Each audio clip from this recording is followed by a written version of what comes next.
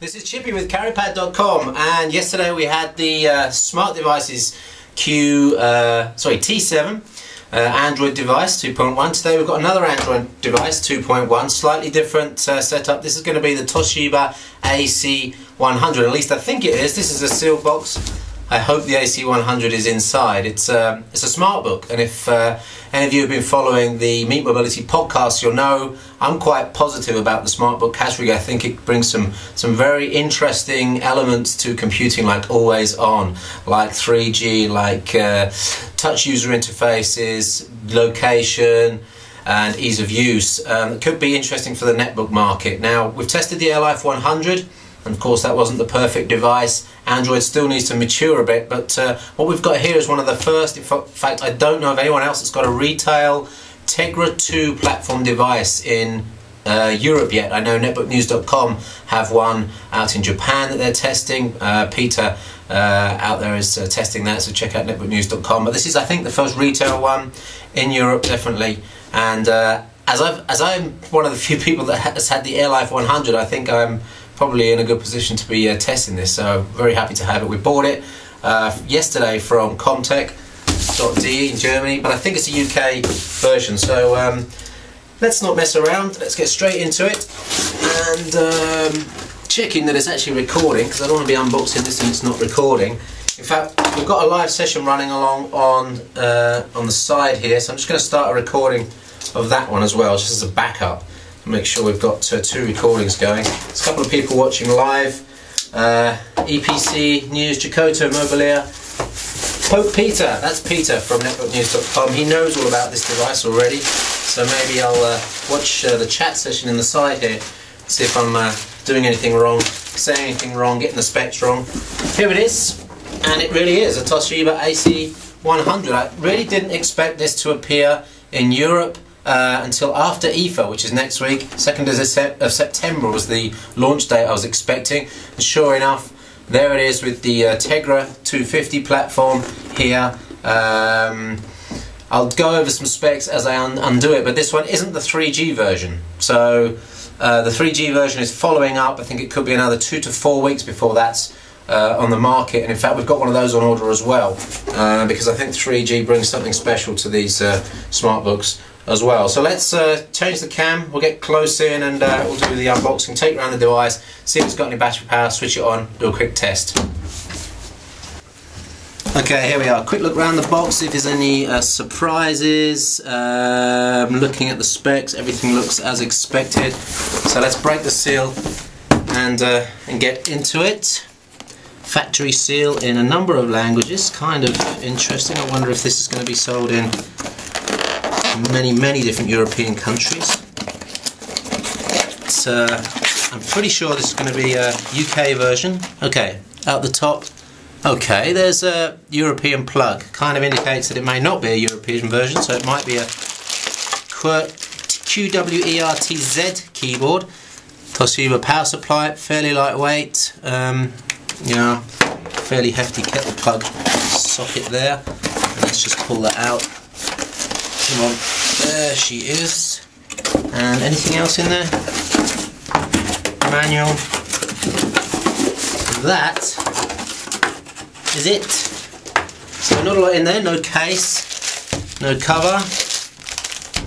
And uh, let's just have a look at the manual to see what language it is. It's in German. So now I'm expecting a QWERTZ keyboard and the uh, quick uh, guide is also in German. So this is obviously German model. I don't mind because uh, I live in Germany and I'm used to these keyboards. So there we go. Super lightweight. My goodness, this is um, so light. It's not feeling real. It feels like something I just got from Toys R Us. Um, yeah, wow. It's. I was trying to find a, a netbook. I haven't got one. Uh, to, to hand here, but that is super small, super light. Plastic's a little bit cheap. Actually, I looked on the uh, on the images; it looked a lot better, but that's a, I'd say it's a little bit uh, cheapy on the plastic side there. Um, on the bottom, nothing there. Battery, stereo speakers, removable battery as well. So um, let's open it up and see what keyboard we've got then. Okay, yeah, German keyboard. Q-W-E-R-T-Z. So for you guys in Germany that are looking and wondering whether that uh, model is uh, with the German keyboard, it is. And, uh, and there it is. Let's just quickly go around the device though. So on the right hand side here we've got a single USB port We've got uh, uh, whether that's an HDMI port uh, for a dongle, I don't know, or is it a USB Mini? It might be a USB Mini and a DC in and Kensington lock. And on the other side, there's the HDMI and headphone out. Might be headset, I'm not sure. And there's a SDMMC SDHC card slot there. And that's pretty much it. On the front, there's there are the indicators. Oh yeah, there's one other thing we need to check is where is that indicator light so that I can do my um, extreme email notification rave later. Where is it? I can't see the notification light. It's supposed to be an email notification light on the side here that blinks when you've got the device closed because this is an always on device. Um, you can actually leave it closed, leave it connected to 3G or wireless LAN in this case and it will still run. So opening the device up um, I'm actually a little bit uh, in front of the camera, it's a bit difficult to test everything here. Power button, reasonable keys, actually quite nice keys, feel feel pretty solid, well spaced, large, it's coming on already. Um, on the top here we've got a whole load of special keys. Because this is not a Windows machine there's no need for function keys. So you've got uh, audio controls, brightness, uh, volume, yeah, audio player controls, uh, email button, web button, back button, and a settings button, I guess, and a camera, webcam on off button. Mouse pad, two buttons, not too bad. Bit of flex in the in the panel there. It's not that uh, super sturdy. Let's take this uh, sticker off at the bottom here. And you can see the indicator lights on the bottom there. Power, standby I guess, uh, sorry, um, DC in, power, battery and wireless LAN uh, 3G indicator as well if, if this is a 3G version. So it's booted up. Um, one of the things they push on this is the high brightness screen. It's a glossy screen which um, kind of goes against the grain. If you want a high brightness screen for outdoor use, you might not want a glossy screen, but it's good to start with a glossy screen. You can always put a matte screen protector over the top and turn it into a matte screen. You can't do it the other way around. Um, not a touchscreen on this one. Uh, on the uh, AirLife 100, of course, it was a, a touch screen. Web camera at the top. Right, I'm going to spin the camera around now so that I'm behind the camera. I can actually look at the unit and uh, try and control it and then we can uh, get an idea of, uh, of what's going on there. Okay, I'm going through the Toshiba setup here, which is uh, allowing me to choose my Wi-Fi, connect to the Wi-Fi. Uh, I've noticed on the on the mouse pad here, there's a little scroll area on the right-hand side, and the middle of it is uh, normal mouse button. So scroll area on the on the right is is good. We're connected to Wi-Fi now. Uh, let's accept the agreement, whatever it says, because we're committed now.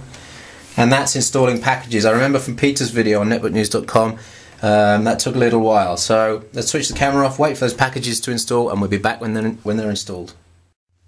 So we're in, only took a couple of minutes to get that uh, everything installed. Now I haven't actually played with the AC100, but I'm just going from what I've seen on uh, Peter's uh, video at netbooknews.com.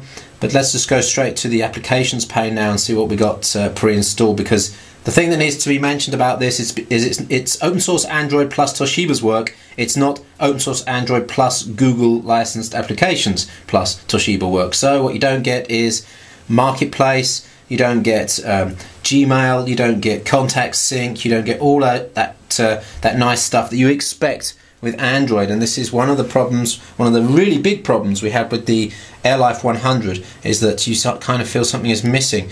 Now, obviously, Toshiba have tried to backfill some of those applications. I can see already Camangi Market. This is uh, from the Camangi web station. They're obviously using that. You can use other uh, uh, third-party um, app stores like and app and other app stores side loading also works i guess email app docs to go this is uh, read write um, Word and Excel and PowerPoint compatible uh, document editor. Evernote we've got here, Fring, Amazon MP3. So they've installed quite a bit of stuff. Media Player, Toshiba, uh, Opera Mobile. So Opera Mobile is something you can't get in the marketplace. They've built this especially for the device. So it'll be interesting to see exactly how that performs and whether it brings a fuller internet experience than the um, browser on on uh, Android. And then if we go to the right, okay, there's a Toshiba online product. I don't know what that is could be uh, release notes or something. FB readers on here as well. We've got a set of widgets which you can obviously place on the screens. Looks like there's five front screens.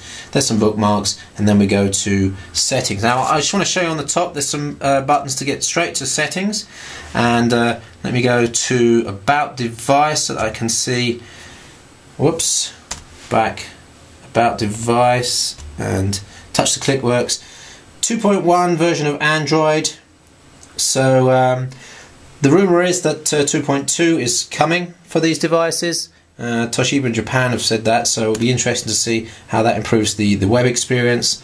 Um, yeah, I also want to mention this screen is lovely. This screen is much much nicer than the uh, AirLife 100, which had a resistive touch layer, which made it matte. So it's very bright, very glossy. So it's going to be really nice for videos. We're going to test that later in a live session that we've got running on uh, carrypad.com slash live uh, this evening, the 28th of August. Yeah, there's uh, media play buttons here.